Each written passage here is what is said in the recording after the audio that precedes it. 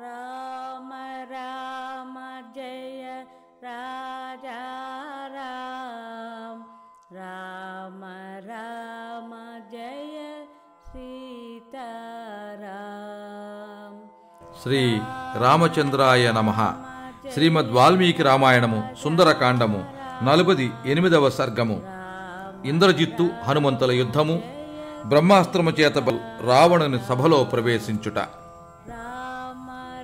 హనుమంతుని చేతిలో అక్షకుమారుడు నిహతుడు కాగా మహావీరుడైన రాక్షస రాజుగు రావణుడు లోలోపల ఆందోళన పడుతున్నప్పటికీ మనస్సును కుతుటపరుచుకుని ధైర్యము వహించి కుపితుడై దేవేంద్రునితో సమానమైన పరాక్రమము గల ఇంద్రజిత్తును యుద్ధమునకు ఆదేశించుచు ఇలా అంటున్నాడు. ఓ కుమారా నీవు అస్త్రవేత్తలలో శస్త్రములను ప్రయోగించు వారిలో శ్రేష్ఠుడవు. సురాసురులు సైతము నీ పరాక్రమమును గడగడలాదురు. బ్రహ్మదేవుని గూర్చి తపమునరించి బ్రహ్మాస్త్రము మొదలగు పెక్కు అస్త్రములను సంపాదించిన వాడవు. నీ యుద్ధ కౌశలమును ఇంద్రాది దేవతలు కూడా చవిచూచారు. అసురులు గాని ఇంద్రాది దేవతలు గాని మరుద్గణములు గాని యుద్ధరంగమున నీ అస్త్రబలము ముందు నిలువుజాలలేకపోయారు ముల్లోకములలోను కథనరంగమున నీచే పరాజితుడు కానివాడు ఎవ్వడునూ లేడు. నీ భుజ పరాక్రమములే సర్వదా నీకు భద్రకవచములు. నీ తపఃప్రభావమే నీకు సర్వరక్షకము. దేశకాలములను అనుసరించి కర్తవ్యములను నిర్వహించుట్లో నీవు నిరుపమాన ప్రజ్ఞాశాలివి సమయస్ఫూర్తి గలవాడవు. వివిధ యుద్ధ రీతులలో కుశలుడు అయిన నీకు అసాధ్యమైన కార్యము ఏదీను లేదు. వివేకముతో ఆలోచించి చేయదగిన కార్యములలో నీకు తెలియనిది లేదు. నీ అస్త్రబలములను శారీరక శక్తిని ఎరుగనివాడు ముల్లోకములు ఎందు ఎవడను లేనే లేడు. తపోబలమునందును యుద్ధమున పరాక్రమించుటలోను అస్త్రబల విజృంభణమునందును అన్ని విధముల నీవు నాతో సమానుడవు. యుద్ధ సంఘర్షణ ఎదురైనప్పుడు నీవు నిలబడిన పక్షమునకు జయము తథ్యము. నా మనస్సునకు ఆందోళన ఏమాత్రము కలుగదు. ఎనభది వేల మంది కింకరులను జంబుమాలియు వీరులైన అమాత్యపుత్రులు ఏడుగురును సేనానాయకులు ఐదుగురును రణరంగమున చనిపోయారు. అసంఖ్యాకములుగా ఉన్న అశ్వములు గజములు రథములు పదాతి బలములు కథారంగమున ప్రాణములు కోల్పోయాయి. నీ అనుంగు తమ్ముడైన అక్షకుమారుడు కూడా నిహితుడయ్యాడు. అయితే ఓ అరిమర్దన నాకు నీపై ఉన్నంత గట్టి నమ్మకము వారిపై లేదు. ఆ వానరుని ప్రశస్తమైన బుద్ధి కౌశలమును శారీరక బలమును ప్రభావమును పరాక్రమమును దృష్టిలో ఉంచుకొని నీ బలపరాక్రమమును కూడా చూచుకొని నీ శక్తియుక్తులకు తగినట్లుగా విజృంభింపము. అస్త్రవిధులలో శ్రేష్ఠుడా నీ నిరుపమాన బలపరాక్రమమును చూచిన వెంటనే శత్రువులు లొంగిపోతారు. అటువంటి నీవు ఆ వానరుని సమీపించినప్పుడు నీ బలమును శత్రుబలమును సమీక్షించుకుని మన సేనలు నశింపకుండునట్లుగా ప్రయత్నము చేయము. ఓ వీరుడా ఒకే ప్రయత్నమున ఒకే దెబ్బతో పెక్కు మందిని హతమార్చగల ఆ వానరుడు నుండి సేనలు మనల్ని రక్షింపజాలవు. కనుక నీవు సేనలతో వెళ్ళవలదు. తీక్షణమైన వజ్రాయుధము కూడా ఆయన కడ కుంఠితమగును. కనుక ఆయన మీదకి వజ్రాయుముతో కూడా వెళ్ళవద్దు. అది ఆయన కడ పనిచేయదు. ఈ వానరుని వేగము వాయువును వాయువుకును లేదు. ఈతని బలము ముందు వాయుబలము సైతము దిగదుడిపే. అతడు అగ్నితుల్యుడు అందరినీ కాల్చివేయగలడు. ముష్టి ఆది సాధనములతో అతన్ని చంపుట అసాధ్యము. కనుక అట్టి ప్రయత్నములు చేయవద్దు. నేను ఇంతకు ముందు చెప్పిన రీతిగా బాగుగా ఆలోచింపుము. నీ కార్య సాఫల్యమునకై నీవు శత్రువును జయించుటకై ఏకాగ చిత్తుడువై ధనుర్విద్యకు ధనుస్సునకు సంబంధించిన బ్రహ్మాస్త్రాది బలమును జ్ఞాపకము తెచ్చుకొనుచు వెళ్ళుము. తిరుగులేని విధముగా యుద్ధ కార్యమునకు దిగుము. పితామహుడిచ్చిన ఆ బ్రహ్మాస్త్రముచే స్మరించుచూ వెళ్ళుము. దానిని తప్ప మరి దేనికిని అతడు లొంగడు. బాలుడవైన నిన్ను యుద్ధమునకు పంపుట నాకు ఉచితముగా తోచుటలేదు. అయినను క్షాత్రధర్మమును అనుసరించి ఇట్లు చేయుటయే యుక్తము. ఎందువలననగా సమర్థులైన యోధులుండగా రాజు స్వయముగా వెళ్ళుట రాజధర్మ విరుద్ధము. కథనరంగమున విజయకాంక్ష కలిగి ఉండుట అవసరము. కనుక వివిధములకు అస్త్రప్రయోగములు యందు నేర్పు ప్రహరణ సామర్థ్యము కలిగి ఉండవలెను. జయార్థము అస్త్రములన్నీ స్మృతిలో ఉండవలెను. దేవతల వలె దివ్య ప్రభావము గలవాడు వీరుడు అయిన ఇంద్రజిత్తు తండ్రి పలికిన హితవచమును విని కొండంత బలమును పొందినవాడే యుద్ధము చేయుటకే నిశ్చయించుకుని ప్రభువైన రావణునకు ప్రదక్షిణపూర్వకంగా నమస్కరించాడు. ఇంద్రజిత్తు తనకు అత్యంత ప్రీతిపాత్రులైన వారి చేతను తన వారి చేతను ప్రశంసలు అందుకుని రణోత్సాహముతో విర్రవీగుచూ సమర భూమికి వెళ్ళుటకు ఉద్యుక్తుడయ్యాడు. వైభవోపేతుడు పద్మదళముల వంటి నేత్రములు గలవాడు రాక్షస ప్రభువైన రా- రావణుని కుమారుడు మహా తేజోవంతుడు అయిన ఆ ఇంద్రజిత్తు పర్వదినములలో సముద్రముల వలె పొక్కొంగుచు సంగ్రామమునకు బయలుదేరాడు. పరాక్రమమున ఇంద్రునితో సమానుడైన ఆ ఇంద్రజిత్తు నిరాఘాటముగా మిక్కిలి వేగముతో సాగిపోగల రథమును అధిరోహించాడు. దానికి గరుత్మంతుని వలె మిక్కిలి వేగము గలవి తీక్ష్ణములైన తెల్లని కోరల గలవి అగు నాలుగు సింహాలు పూంచబడి ఉన్నాయి.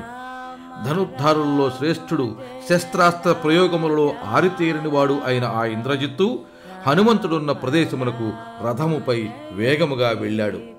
వానర వీరుడైన హనుమంతుడు ఇంద్రజిత్తు యొక్క రథచక్రముల సవ్వడులను ధనుష్టంకారములు విని తనకు దీటైన వీరునితో యుద్ధము చేయ అవకాశము లభించినదని మిక్కిలి ఆనందించాడు. రణ విద్యలలో కుశలుడైన ఇంద్రజిత్తు మిక్కిలి శక్తివంతమైన ధనుస్సును వాడి అయిన ములుకులు గల బాణములను చేతపట్టి హనుమంతుని ఎదుర్కొనుటకు బయలుదేరాడు. పిమ్మట ఆ ఇంద్రజిత్తు రణోత్సాహ భరితుడై బాణములను ఎక్కుపెట్టి ముందుకు సాగుచూ ఉండగా పైకెగసిన ధూళులతో దిశలన్నీ నిండిపోయాయి. క్రూర మృగములు బహువిధములుగా అరవసాగాయి. అంతటా అక్కడికి చేరిన నాగులు యక్షులు మహర్షులు జ్యోతిశ్చక్రమును సంచరించు సిద్ధులు ఆకాశమునంతటను వ్యాపించి హర్షోల్లాసములను ప్రకటించి చూస్తున్నారు. కాకులు గ్రద్దలు మొదలగు పక్షులు తమకు ఆహారం లభించుననే సంతోషంతో బిగ్గరగా అరుస్తున్నాయి. రథముపై అతి వేగముగా తన వైపుకు వస్తున్న ఇంద్రజిత్తును చూచి హనుమంతుడు సింహనాదం చేశాడు. శత్రువునకు దడపుట్టినట్లు అతి శీఘ్రముగా తన శరీరాన్ని పెంచాడు. ఇంద్రజిత్తు దివ్యమైన రథముపై నిలకడగా ఉన్నవాడై చిత్రమైన వింటిని చేతపూని పిడుగుపాటు ధ్వనితో భయంకరముగా ధనుష్టంకారాన్ని చేశాడు.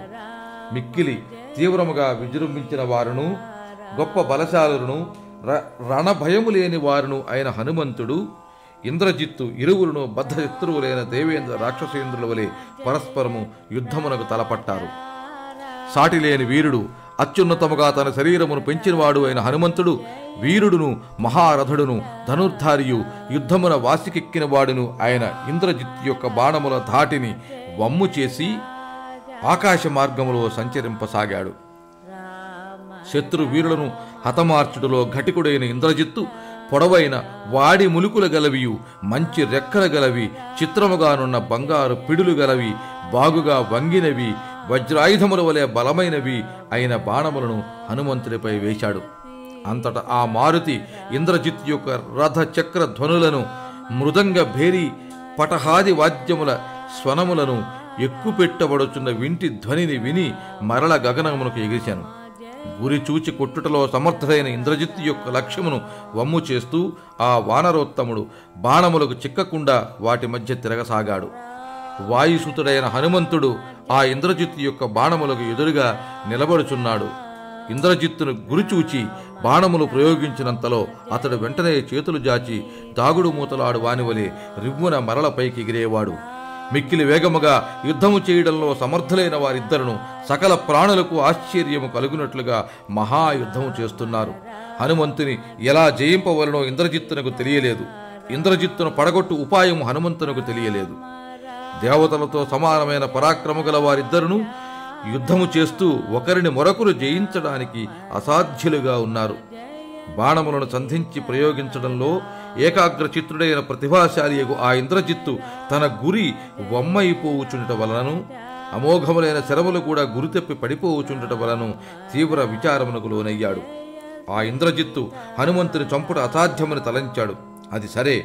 కనీసము ఆ వానర ప్రముఖుని బంధించుటకై అతనిని నిశ్చేష్టునిగా చేయుటకు ఉపాయమేమి?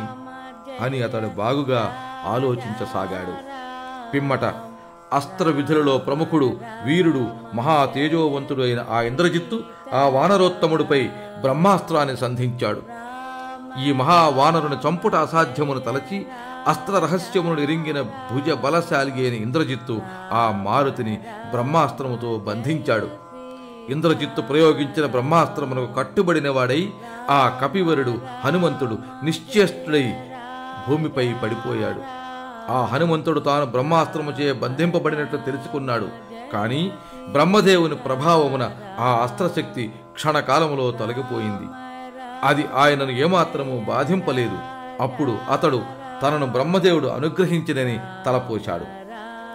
అది స్వయంభువ బ్రహ్మ మంత్రములచే అభిమంత్రింపబడిన బ్రహ్మాస్త్రం అని తెలుసుకుని బ్రహ్మ తనకు ప్రసాదించిన వరమును గుర్తుకు తెచ్చుకున్నాడు హనుమంతుడు. పితామహ మహిమచే ప్రభావితమైన ఈ బ్రహ్మాస్త్రము నుంచి తప్పించుకున్న శక్తి నాకు లేదు అని తలంచి ఇంద్రజిత్తు దానిని నాపై ప్రయోగించాడు. సరే ఈ బ్రహ్మాస్త్రమునకు నేనే కట్టుబడి ఉండుటయే యుక్తము. ఆ విధముగా నేను బ్రహ్మదేవుని గౌరవించినట్లు అవుతుంది ఆ హనుమంతుడు బ్రహ్మాస్త్రం యొక్క ప్రభావాన్ని తనపై పితామోహనకు గల అనుగ్రహమునకు గుర్తుకు తెచ్చుకున్నాడు.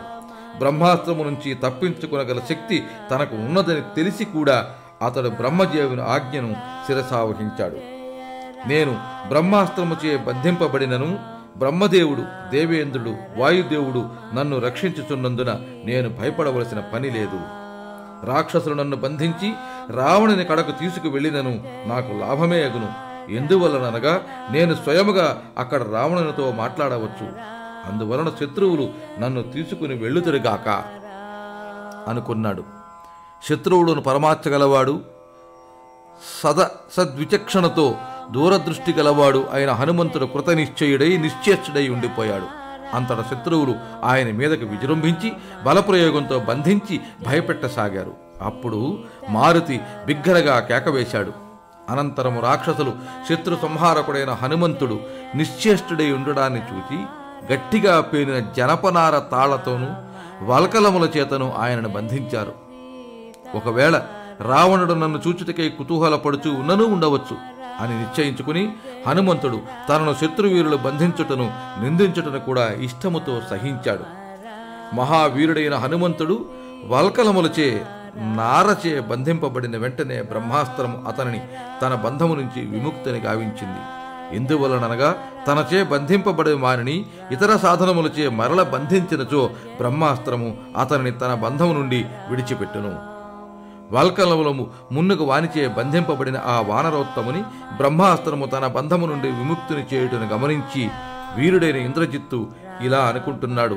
ఇతర సాధనములచే బంధింపబడిన వారిని బ్రహ్మాస్త్రము తన బంధము నుంచి విడిచిపెట్టును. అయ్యో నా శక్తినంతయు ధారపోసి చేసిన ఈ ఘనకార్యము బూడిదలో పోసిన పన్నీరైనది కదా.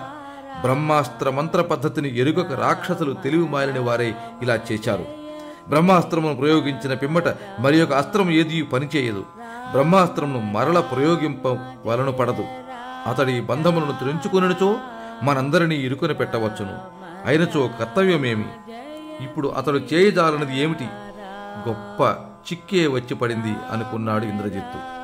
హనుమంతుడు బ్రహ్మాస్త్రము నుండి తాను విముక్తుడైన విషయమును ఇతరులకు తెలియనీయలేదు. క్రూరులైన రాక్షసులు అతనిని బంధములతో కట్టి కట్టెలతో బా బాదుచు పిడికిళ్ళతో పొడుస్తూ రావణుని సమీపమునకు తీసుకుని పోయారు. రావణుని చూడవలన సంకల్పముతో ఈ రాక్షసులు పెట్టు బాధలనన్నింటినీ హనుమంతుడు బుద్ధిపూర్వకముగా సహించాడు. అంతటా బ్రహ్మాస్త్రము నుంచి విముక్తుడై జనపనార త్రాళ్ళ చేతను వల్కలముల చేతను బంధితుడై ఉన్న మహావీరుడకు వానరోత్తముని ఇంద్రజిత్తుడు సభాస్థలానికి తీసుకుని వెళ్ళి పరివారములతో కూడి ఉన్న రావణాసురునికి చూపించాడు.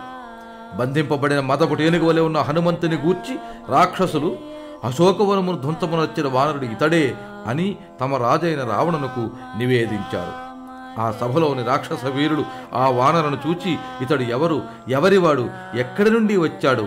ఇతడు వచ్చిన పని ఏమి? ఇతనికి ఆశ్రయమును ఇచ్చిందెవరు? అని పరస్పరము చర్చించుకుంటున్నారు.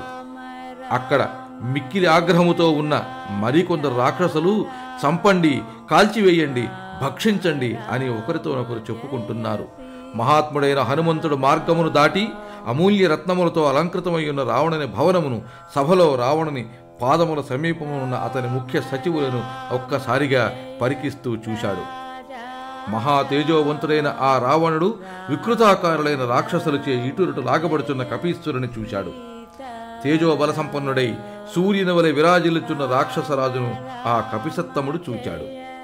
ఎర్రబారిన కనులతో రోషముతో గురుట్లురుముచు రావణుడు కపివరుని పరికించి చూచి సభలో ఆసీనులయ్యున్న కులశీలములు కలిగి అనుభవజ్ఞులైన ప్రముఖులకు మంత్రులను అతనిని గూర్చి తెలుసుకొనండి అని ఆజ్ఞాపించాడు. ఆ మంత్రివరులు వచ్చిన పనిని గూర్చియు అక్క ఆ కార్యహేతువు మొదలగు వారిని గూర్చియు క్రమముగా ఆ కపివరిని ప్రశ్నించారు. అంతట మారుతి నేను వానర ప్రభువైన సుగ్రీవుడు పంపగా వచ్చిన దూతను అని తెలియచేశాడు. వాల్మీకి మహర్షి విరచితమై ఆదికావ్యమైన శ్రీమద్ రామాయణమునందరి సుందరకాండమునందు నలువది ఎనిమిదవ సర్గము సమాప్తము. శ్రీ రామచంద్రాయ నమః